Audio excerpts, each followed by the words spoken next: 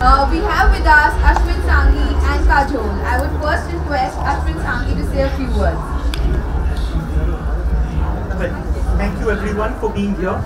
Uh, big day, exciting day, and of course, जिसे कहते हैं चांद पे सुहागा because of Kajol. Uh, but I, I, I'm delighted that this particular book has been unveiled by her uh, because she has been promising me for the longest time that she will do a book launch for me.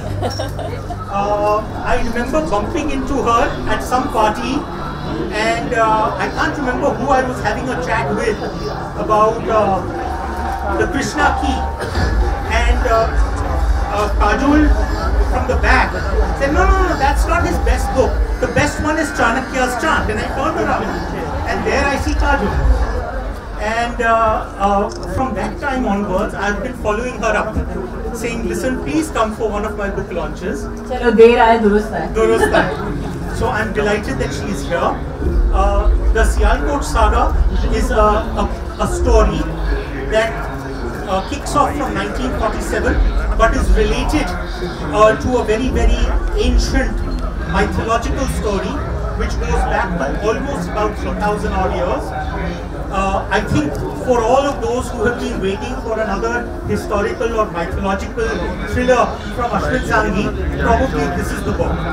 So uh, uh, I'm happy to take further questions, but we first let Kajol say something. Yes. Kajol, if you could say a few words. Um, uh, well, as he said that um, uh, when I went, when I met him first, he was discussing Krishna Key with somebody. But what he didn't say was that I said no, it's the same book. No, it's a better book. Chanakya is a better book. And uh, he turned around. He's like, uh, you know, he turned around. He was like, oh, it's you. And I was like, yeah, who you? And he's like, oh, but I'm the writer. I'm Ashwin Sanghi. And I was like, oh, I'm so sorry. Then in that case. So I literally put my foot in my mouth, but um, I, I actually went up to him and I, and I shook his hand and I was like, oh my god, I'm a big fan because uh, I absolutely, absolutely loved Chanakya's chant. I thought it was one of the one of the best written books that I had read by an Indian author in a very, very long time. So yes, I am a fan as well. We are overwhelmed that this story unfolded at the ZEE Jaipur Literature Festival. I will now open the floor for questions. Any questions? You said that the story is 3000 year old, and uh, again you said at the section that it, it is a little bit of mythology but more of contemporary narrative. Can you just reveal a little bit more? If he reveals any more, he'll have to tell you the whole story chapter by chapter now. And not only that, but uh, uh, I, I, I genuinely believe that somewhere along the way the mystique will disappear. But let me just uh, t- tell you this: that uh, the, the book that uh, that Kajol spoke about, Chanakya's chant, uh, this actually has the same pace as Chanakya's chant. In other words, it's very fast paced. And second is that there's a lot of cerebral stuff going on.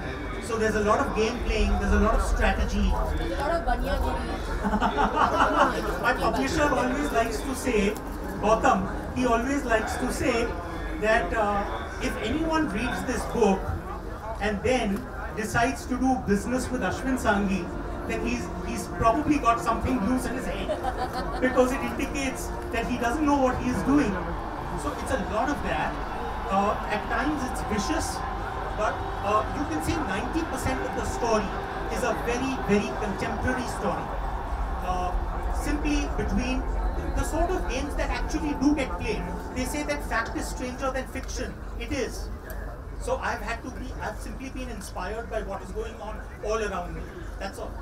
You know, to my mind, actually, the I've never looked at Kajol as a celebrity. No, I'm sorry, but I disagree with that fact completely because I think Ashwin, I know for a fact that Ashwin is where he is today and simply and plainly because of his writing. And I can say that for a fact that being an author, being a best selling author does not depend on anything else but your writing. It is the one field in which nobody can recommend you, and regardless of how many ever recommendations you get, you can never add up the numbers.